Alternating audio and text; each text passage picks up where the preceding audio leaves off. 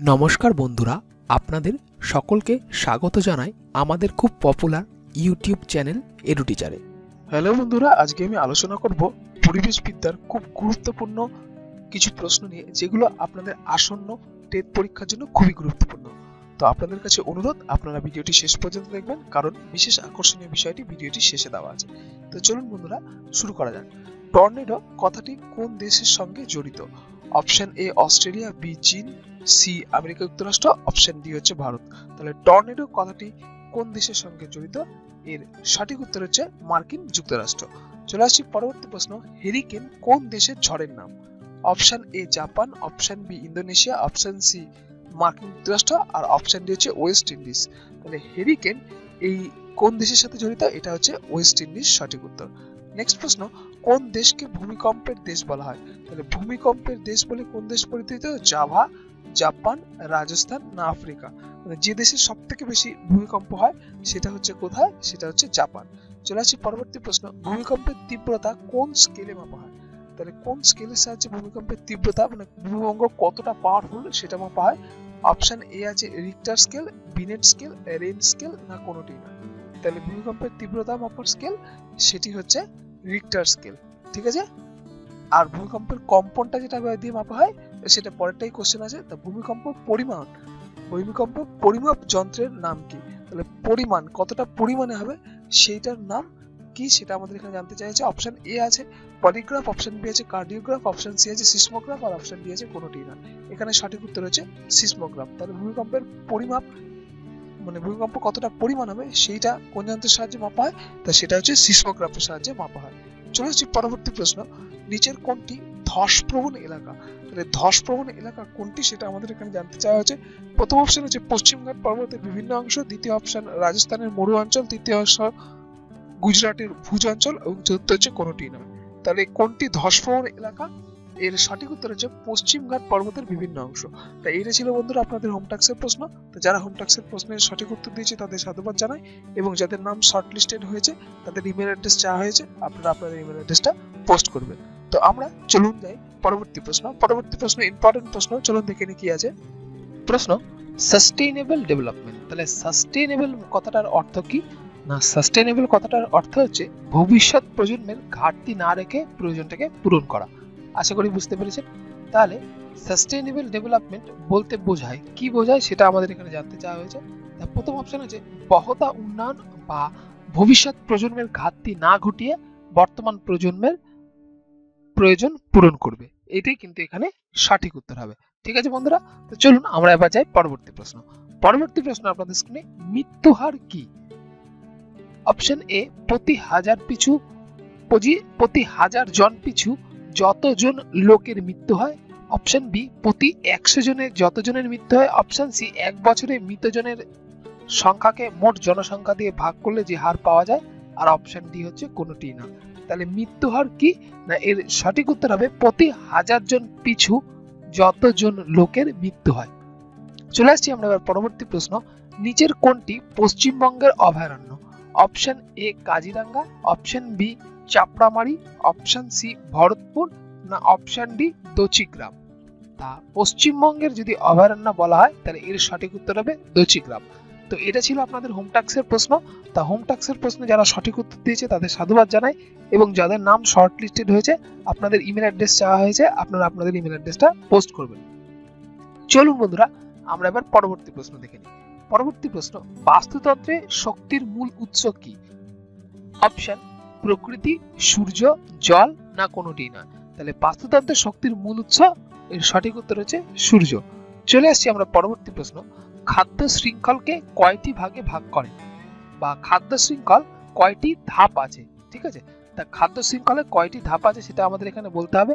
Option A আছে এক থেকে দুটি ধাপ থাকে, অপশন বি দুই থেকে তিনটি ধাপ থাকে, অপশন সি তিনটি থেকে পাঁচটি ধাপ থাকে, আর অপশন ডি হচ্ছে কোনোটি নয়। তাহলে খাদ্য শৃঙ্খলে কটি ধাপ থাকে? এর সেরকম কোনো ধাপ এখনও পর্যন্ত পাওয়া যায়নি, তা এর সঠিক উত্তর হবে কোনোটি নয়। চলে আসি পরবর্তী প্রশ্ন। পশ্চিমবঙ্গের কোন সংরক্ষিত বনে এক সিংহ গন্ডার দেখা যায়? তাহলে এক সিংহ গন্ডার কোথায় দেখা যায়? Option A Sajnekhali option B Jaldapara option C Gorumara R option D হচ্ছে সুন্দরবন। তা এর সঠিক উত্তর হচ্ছে জলদাপাড়া। তাহলে পশ্চিমবঙ্গের কোন সংরক্ষিত বনে এক সিংহ গন্ডার দেখা যায়? এর সঠিক উত্তর হচ্ছে জলদাপাড়া। নেক্সট প্রশ্নে চলে আসি। নেক্সট প্রশ্ন, নিচের কোনটি গৌণ খাদক? মানে গৌণ খাদক মানে এরা হচ্ছে দ্বিতীয় শ্রেণির খাদক মানে যারা তৃণভোজীকে খায়। অপশন এ আছে হরিণ অপশন বি বাজ পাখি অপশন সি ময়ূর, আর অপশন ডি হচ্ছে কোনোটি নয়। তাহলে তৃণভোজীদের খায়, এর সঠিক উত্তর হচ্ছে হরিণ। এখানে হরিণটা সঠিক উত্তর হবে। চলে আসছি আমরা পরবর্তী প্রশ্ন। পরবর্তী প্রশ্ন হচ্ছে,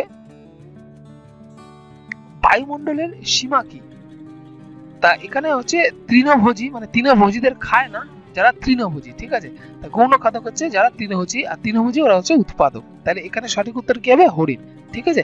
মানে তৃণভোজীদের খায় না বিষয়টা, হচ্ছে তৃণভোজী যারা মানে যারা তৃণভোজন করে, ঠিক আছে? আশা করি বন্ধুরা বুঝতে পেরেছেন। চলুন পরবর্তী প্রশ্নে যাই। পরবর্তী প্রশ্ন, বায়ুমণ্ডলের সীমা কত?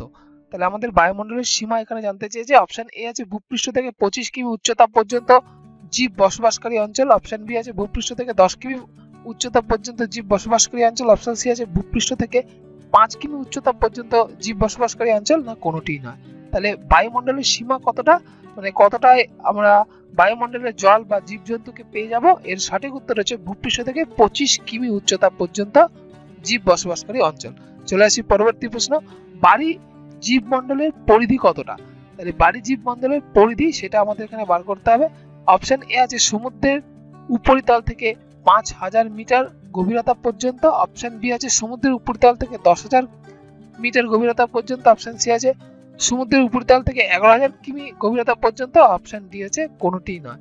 তাহলে বায়ুমণ্ডলের পরিধি কতটা? এর সঠিক উত্তর হবে সমুদ্রের উপরিতল থেকে এগারো হাজার মিটার গভীরতা পর্যন্ত। এটা কিন্তু এখানে সঠিক উত্তর। চলে আসছি পরবর্তী প্রশ্ন, মার্স গ্যাস কোন গ্যাসকে বলা হয়?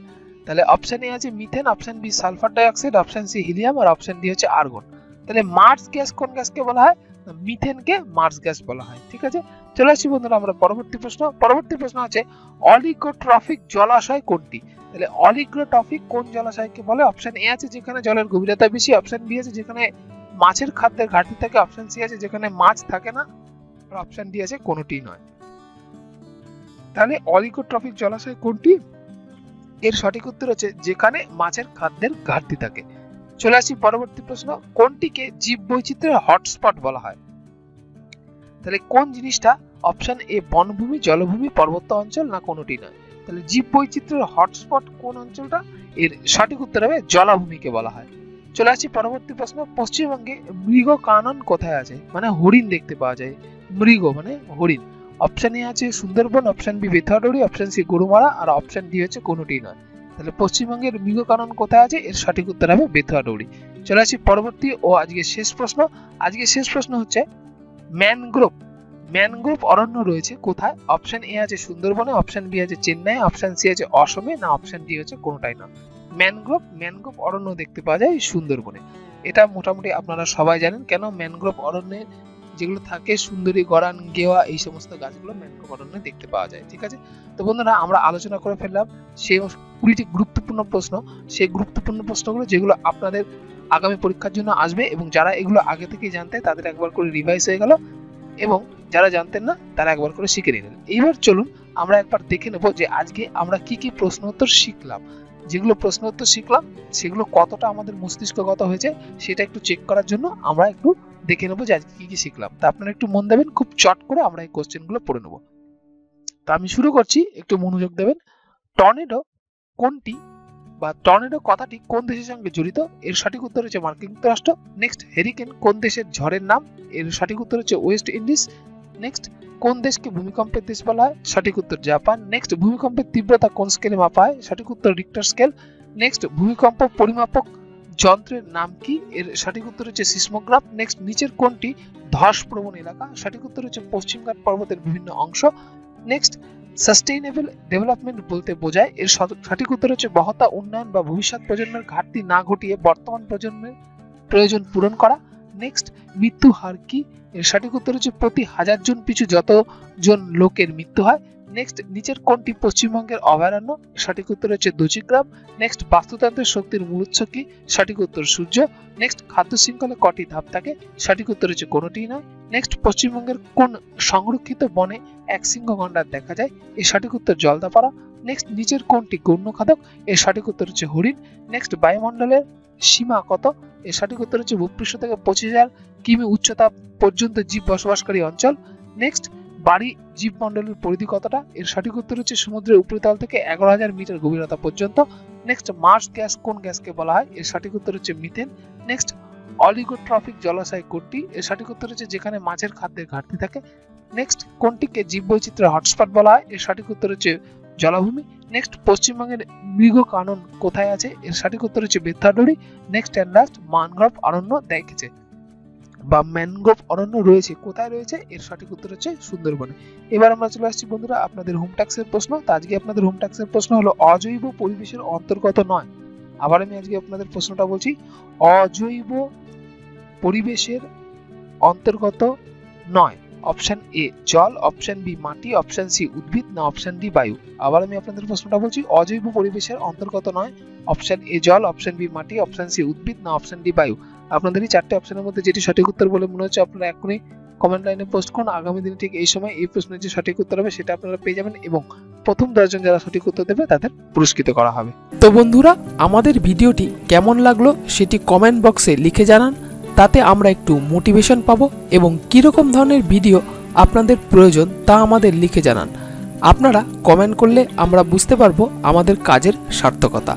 অজ্ঞাত কারণে যদি কোনো ভুল ত্রুটি হয়ে গিয়ে থাকে তাহলে ক্ষমা প্রার্থনীয়। এবং আমাদের চ্যানেলটিকে লাইক, সাবস্ক্রাইব এবং শেয়ার করুন যাতে আপনার মতো অন্যান্য ভিউয়ার্সরাও উপকৃত হয়। আজ এই পর্যন্তই। সুস্থ থাকুন, ভালো থাকুন। দেখা হবে আগামী নতুন আকর্ষণীয় ভিডিওতে। ধন্যবাদ।